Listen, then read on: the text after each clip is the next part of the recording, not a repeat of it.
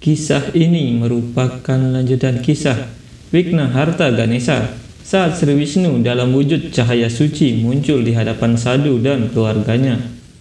Sri Wisnu berkata, inti dari pencapaian hidup adalah kesabaran dan ketetapan hati. Entah itu kebahagiaan atau kesedihan. Keduanya harus dihadapi dengan sabar. Karena emosi tidak akan membantu tapi menahan diri yang akan membantumu. Dan persembahan adalah saksi Tuhan ini berkah dari seorang ayah yang suci. Mengabaikannya berarti mengabaikan Tuhan. Mendengar nasihat itu Dewa Sena dan Sri Wali mengingat saat mereka lupa meminta berkat dari Mahadewa dan Parwati. Dewa Sena berpikir berkat orang tua akan seperti nektar kehidupan bagi kami.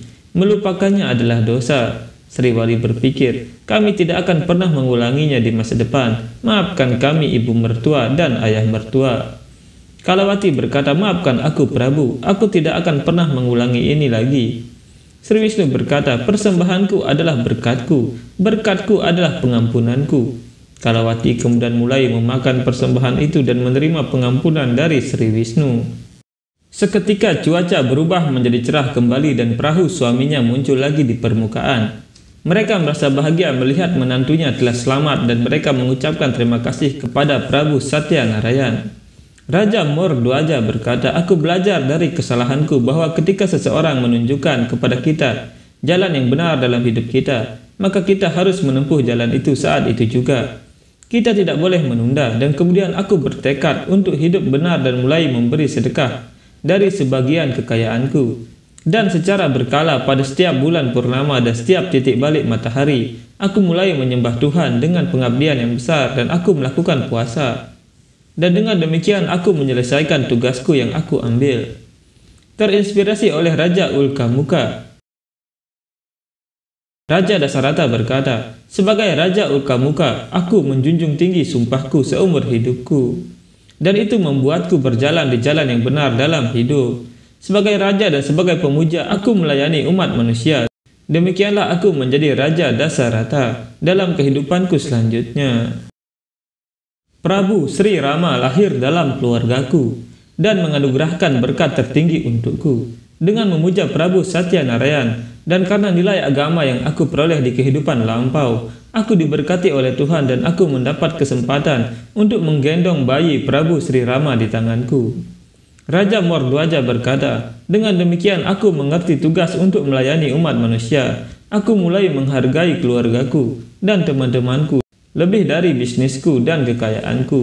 Aku telah belajar untuk melepaskan keserakahanku dan aku mulai menyumbangkan kekayaanku. Mentalitasku berubah. Dari pedagang yang egois, aku menjadi murah hati dan orang yang religius. Aku belajar untuk menjaga keluargaku dan semua itu mungkin karena keyakinanku yang mendalam pada Prabu Satya Narayan. Sehingga kemudian aku diberkati untuk dilahirkan kembali sebagai Raja Mordwaja. Dan aku juga diberkati untuk bertemu Tuhan dalam hidup ini. Ganesha berkata, jadi apakah ini akhir dari ceritamu? Raja Mordwaja berkata, ya Prabu, ini adalah akhir dari ujianku. Dewa Brahma berkata, ujian itu milik Raja Mordwaja, tapi pemanah hebat putra Pandu Arjuna memiliki sesuatu yang bisa kita pelajari darinya. Saat itu Arjuna sedang bersujud di hadapan Sri Krishna. Sri Krishna berkata, ini bukan pengabdian, ini adalah harga dirimu Arjuna. Arjuna berkata, tidak Madawa, aku memiliki keyakinan penuh bahwa aku adalah pemuja terbesarmu. Aku adalah pemuja yang bisa mengorbankan hidupku untukmu. Sri Krishna berkata, bukan hidupmu Arjuna. Tuhan hanya mencari pengabdian dari para penyembahnya. Arjuna berkata, apa yang bisa menjadi bukti pengabdian yang lebih besar daripada ini Madawa? Orang yang siap mengorbankan nyawanya adalah pemuja terbesarmu, dan hanya aku yang bisa membuat pengorbanan ini dalam pengabdian untukmu. Sri Krishna berkata, kalau begini cara kamu mengukur pengabdian, maka aku tahu satu pemuja seperti itu yang bahkan bisa berkorban sesuatu yang dia cintai lebih dari hidupnya. Sri Krishna kemudian menceritakan kisah pemujanya yang bernama Murdwaja. Putra, Mordwaja berkata, Ayah, siapa yang kamu cintai lebih dari hidupmu? Mordwaja berkata, Putraku, siapa lagi? Kamu adalah orang itu di seluruh dunia ini. Kamu yang lebih aku cintai daripada hidupku sendiri, nak. Aku bisa mengorbankan hidupku, tapi aku tidak akan membiarkan apa pun terjadi padamu. Arjuna berkata, siapakah penyembah itu Madawa? Sri Krishna berkata, dia telah menjadi pemujaku. Dari kehidupan masa lalunya, dia dikenal sebagai Raja Mordwaja dalam kehidupannya saat ini.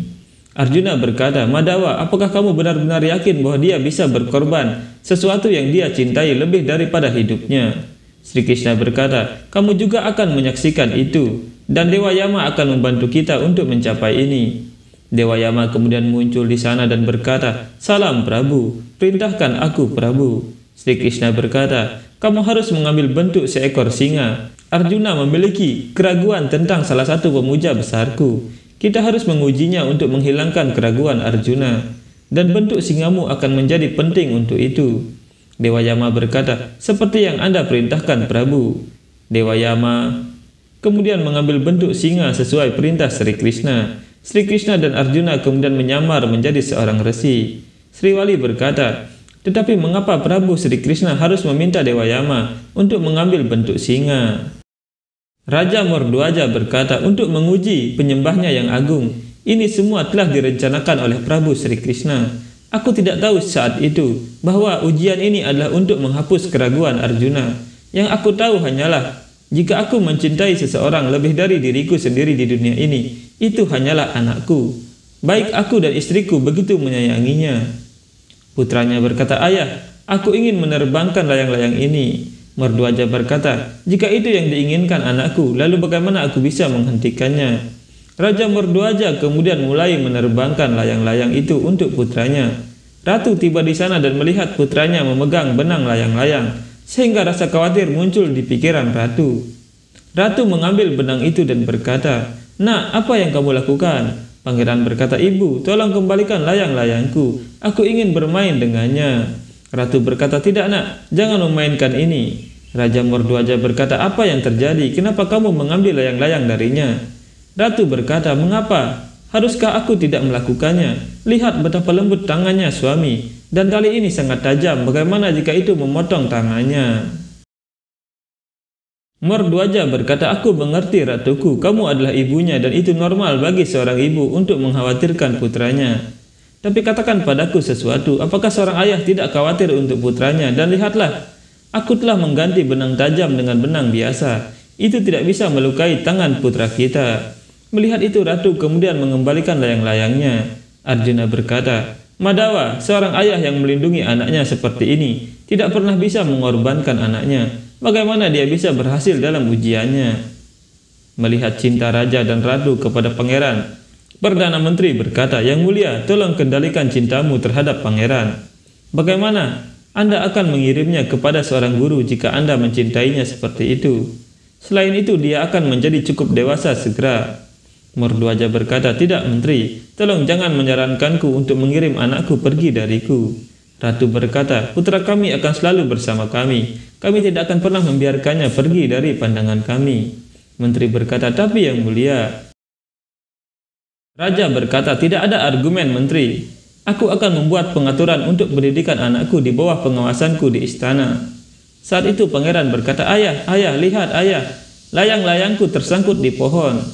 Raja berkata, biarkan nak, kamu memiliki banyak layang-layang. Pangeran berkata, tapi aku suka yang ini. Raja berkata, baiklah, jika anakku suka layang-layang itu, maka dia harus mendapatkannya. Aku akan mengambilnya segera.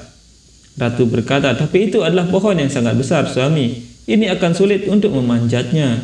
Pangeran berkata, lupakan saja ayah. Tinggalkan saja, aku tidak ingin layang-layang itu. Aku telah menerbangkannya berkali-kali, sekarang aku akan menerbangkan yang lain. Raja berkata, putra kami menjadi sangat bijak di usia yang begitu muda. Kamu melepaskan layang-layang itu hanya karena kamu tidak mau mengganggu ayahmu. Apakah ayah benar? Jangan khawatir nak, ayahmu akan aman, aku akan membawanya segera. Menteri berkata, maafkan aku yang mulia, aku akan mengambil layang-layang pangeran.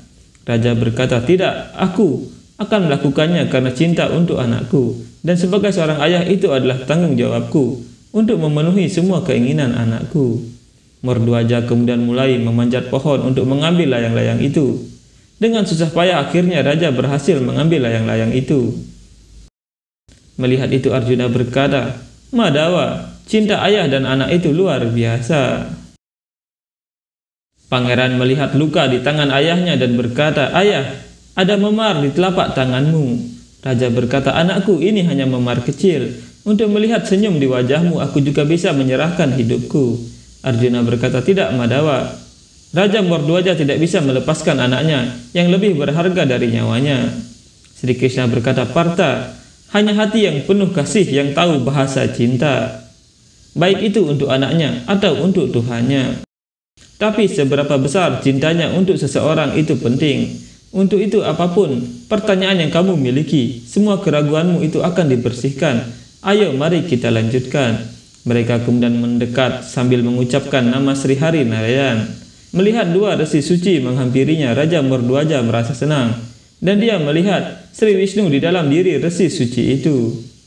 Mereka memberi sembah dan Raja berpikir, Prabu, apakah ini Anda yang telah turun untuk memberkatiku dan keluargaku? Arjuna melihat raja yang terdiam dan berkata, Kenapa kamu terdiam yang mulia? Apakah kamu tidak akan menyambut seorang pemuja Tuhan dan rekannya?